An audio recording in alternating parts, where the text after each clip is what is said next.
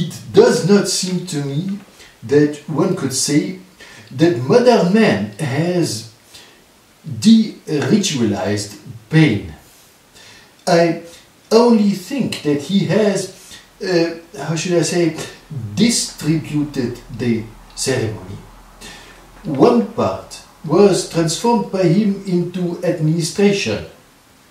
What I mean is that he has handed over one part to this strange administration that, as I believe, never exists in people without sacrifice and that one could call the police.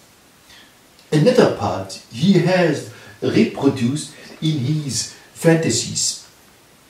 And this is the strange sexual perversion that one calls masochism. It was discovered or invented in an oppressed country by the son of a policeman about a hundred years ago. Uh, Gilles, uh, I would like to ask you what the strange and familiar word masochism means.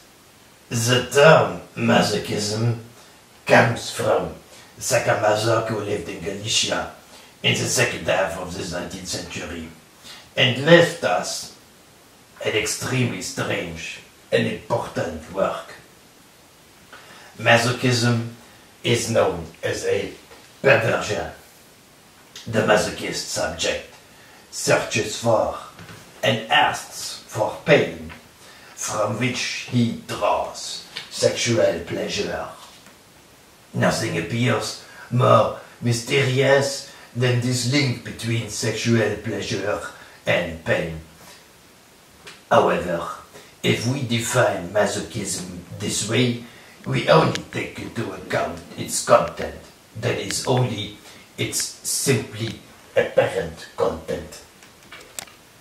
So, please tell me, uh, in this sexual complex behavior that one calls masochism and also sadomasochism, isn't there, despite all of this, another thing? Is something more than the pure and simple link between pleasure and pain that is so frequently talked about. Absolutely. Masochism would be difficult to explain if we would not have intervening a certain condition in which the pain is searched for. Besides the apparent content, exists formal conditions that help define masochism. The first is that pain has to appear as a punishment. This is why we don't believe that moral masochism derives from physical masochism, but rather, on the contrary, that the physical masochism of pain is derived from a deeper moral masochism. The second condition is the passive attitude under which the pain is not only received but expected. That is what many masochist behaviors testify to. The taste for being attached, for being tied up, the taste for being and staying in the waiting position. The third formal character, very well observed by psychoanalysts such as Theodor Reik is the importance that one attributes to fantasies of the imagination or the fantasies of daydreaming, precisely because the masochist is somehow alienated from his own activity, he gains in imagination what he loses in action. He asks from his active partner to submit herself to an imaginary scenario or to obey to the rules of a fantasy outside of which he would not experience any pleasure. It is not exaggerating to say that in masochism, contrary to what happens in all the other perversions, the fantasies of the imagination take on an autonomous value a proper function of autonomy.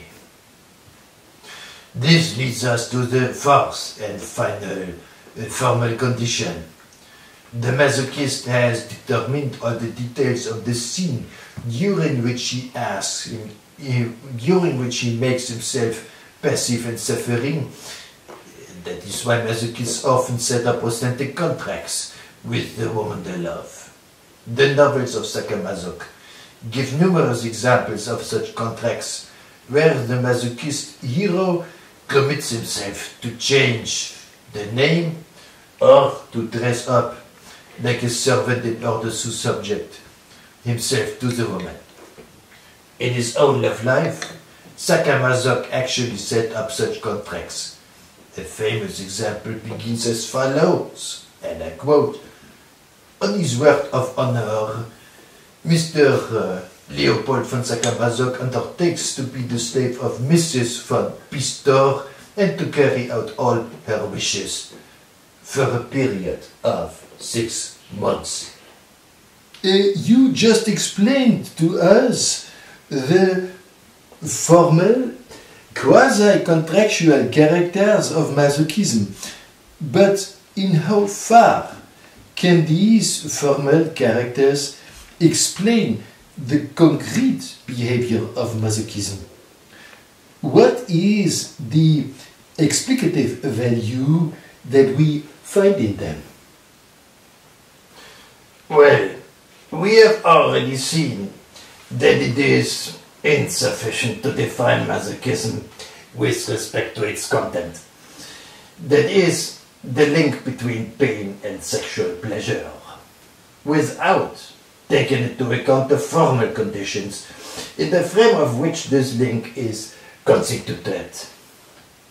The formal conditions amount to four punishment as a principle of pain, passivity as an attitude of pain, fantasy as an autonomous value, and the contract as a precondition.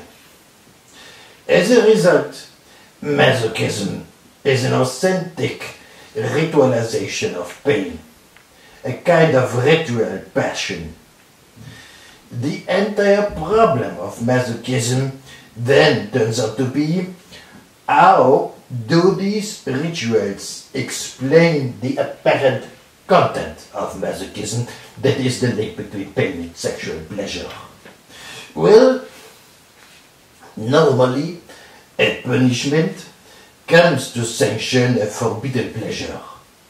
The image or threat of being punished forbids the pleasure. It intervenes into it. The threat of punishment belongs to the law as such. What we have to note now is that the masochist operates a singular rerouting of the law. He puts the punishment first and acts then as if the law allows or even requires him to experience the forbidden pleasures. The same law that forbids realizing a desire by means of the following punishment becomes a law that punishes first and then gives us the forbidden pleasures. In other words, it is by submitting oneself scrupulously to the law that the masochist experiences the pleasure that this very law interdicts. Now, psychoanalysis has very well observed that this is a curious intervention into the law. In addition, we have to mistrust the appearance, the appearance of weakness and passivity in the personality of the masochist. Under this passivity, under this ritual weakness, resides mockery. By rerouting the law away from its sense, the masochist derides it. That is why, when it might happen that irony is a little sadistic, humor is often masochist. The masochist procedure ritualizes pain, but at the same time, it ridicules the ritual of the law general. As a consequence, masochism appears as a rerouted passion, as a comedy of authentic passion. Before Masoch stages a false messiah, his wife flogs him and tells him, I will make you a man. You are not the Messiah. An announcement missing the coming of the true Messiah.